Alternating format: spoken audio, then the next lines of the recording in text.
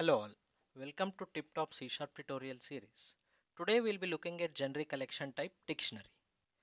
We have already covered other collection types in previous videos. We would recommend you to go through those videos once. I will have those links in the description section below.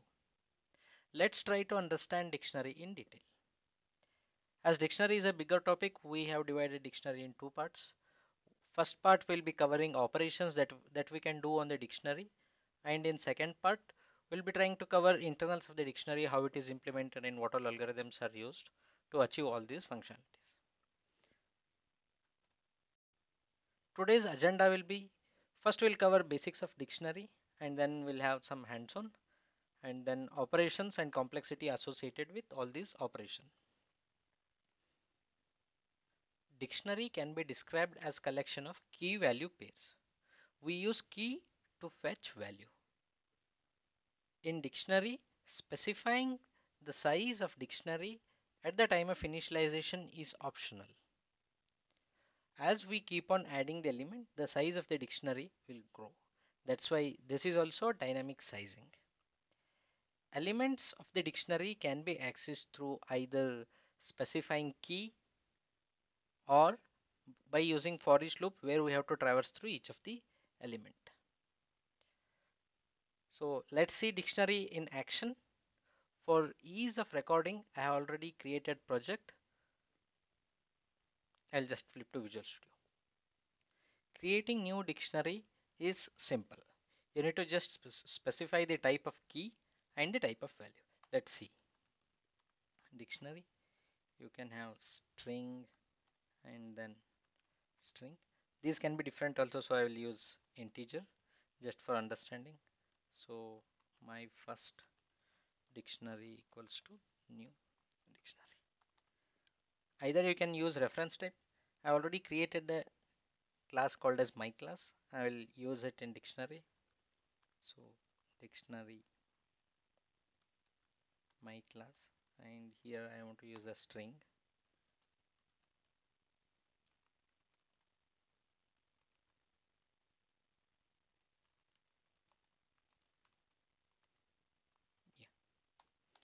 so either of way you can use either it can be reference type or it can be value type it does not matter. So I'll just get rid of the second dictionary.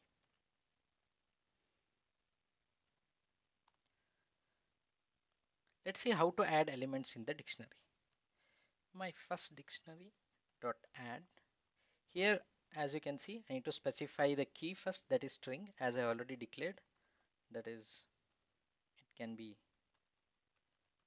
first name and the value I want to give it is maybe 100 add.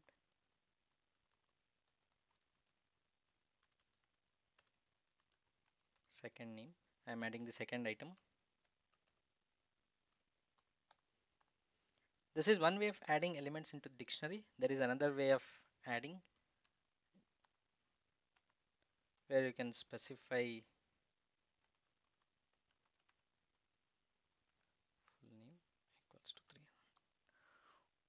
what is the difference between this statement and this statement is in first statement we are trying to add a new element.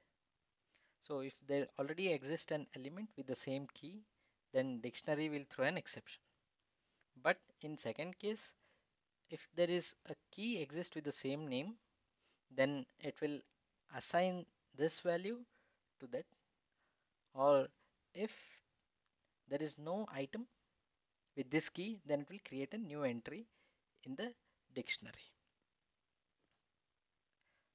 As now we have seen adding of the element. Let's see how to retrieve elements from the dictionary.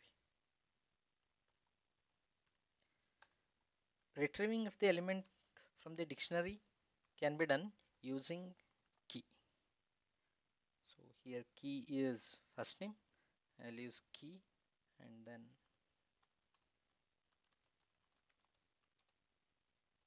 so this is how we can retrieve.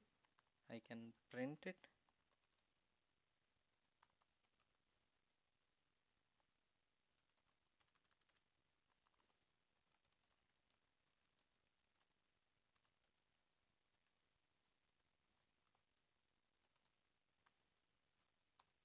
Now if I execute it, I can see that I'm fetching 100 value back. So this way we can add an element into the dictionary or we can retrieve an element using the key. Yeah.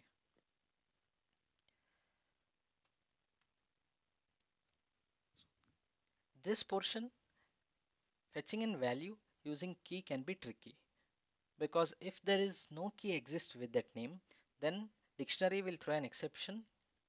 Key not found exception. In that case there is a better way of accessing an element.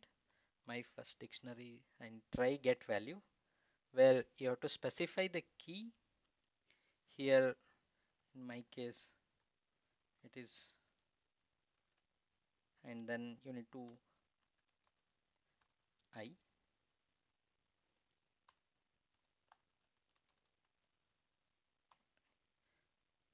and this method will also return true or false. In it in case the key does not exist it returns false as well.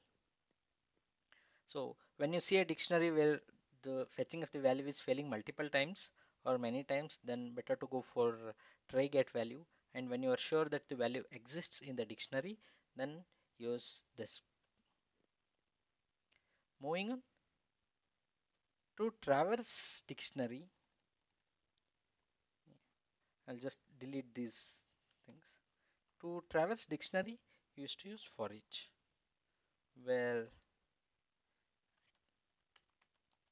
item in my first dictionary. This is how you can traverse through and dictionary always returns you a list of key value pair as I mentioned at the beginning dictionary is a collection of key value pair that's why you will get an enumerator of key value pair and in for each loop we'll be iterating through it. So if I want to print value then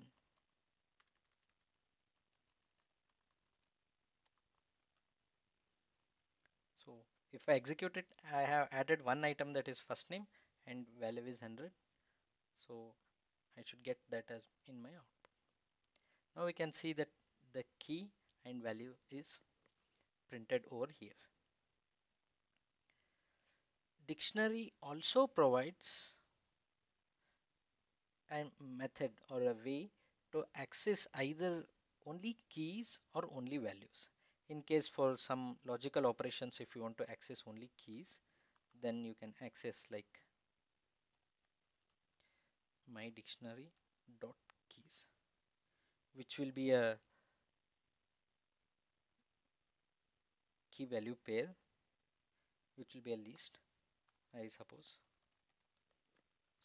In case if you want to do some additional operations just on key or just on values, then you can iterate through, you can you can get the list of keys or list of values by using keys and values. For many of the other operation, we may want to, before adding a key into the dictionary, we may want to see whether my dictionary contains a key. Dictionary also provide a facility to check whether my dictionary contains a specified element. So I can use that contains contains key where I pass in the key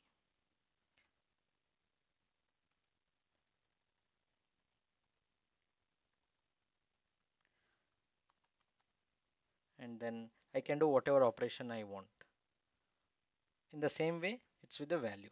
So you can specify contains value and then you can pass in the value that you are having and then the method returns either true or false. If the value exists then it returns true and if value does not exist then it returns false. You have to remember that contains value or contains key is a costly operation in dictionary. Every other operation is big O of 1 but whereas contains value and contains key is a costlier operation where it has to traverse through each and every item within the dictionary and to and decide whether key or the specified item exists inside or not.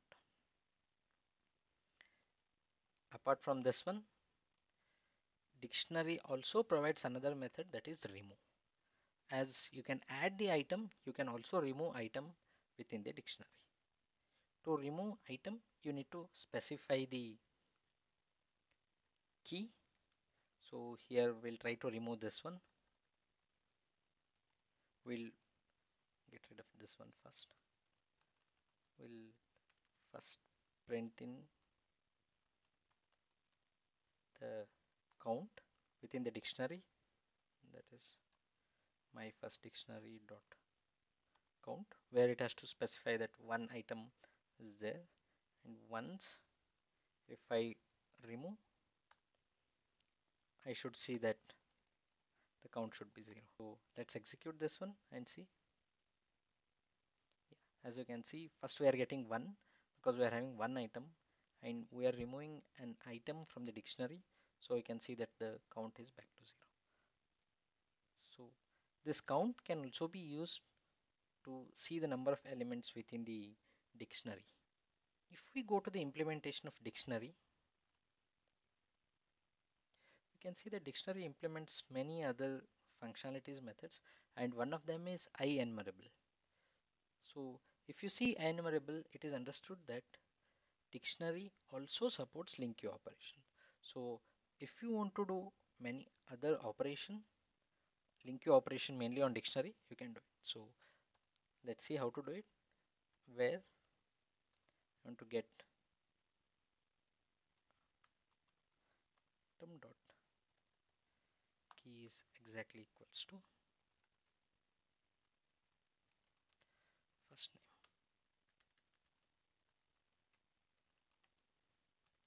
So in this way you can do multiple LINQ operations on the dictionary as well whenever you want to fetch whenever you want to do some other operations you can do in dictionary as well.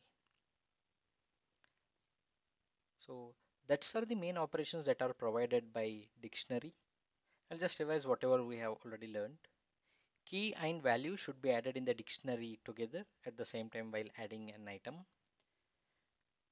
value added in the dictionary can be fetched using key. You need to use key to get the value from the dictionary. Try to use try get value if there is higher chances of failure. Use for each to traverse the dictionary. Contains key and contains value or costly operation because it has to traverse through each and every item within the dictionary remove and by specifying the key can be used to remove an item from the dictionary.